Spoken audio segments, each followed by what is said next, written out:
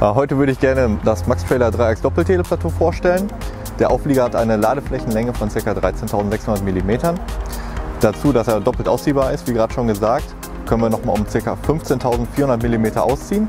Da kommen wir insgesamt auf eine Gesamtlänge von 29 Metern.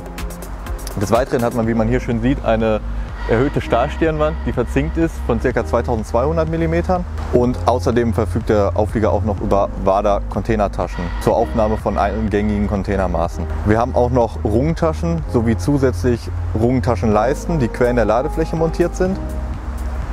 Und der Auflieger ist auf allen drei Achsen hydraulisch zwangsgelenkt. Das können wir nochmal separat über die Kabelfernbedienung oder bequem aus der Sattelzugmaschine raus mit der Funkfernbedienung ansteuern. Ideal geeignet ist das Fahrzeug an der Stelle natürlich für Langtransporte.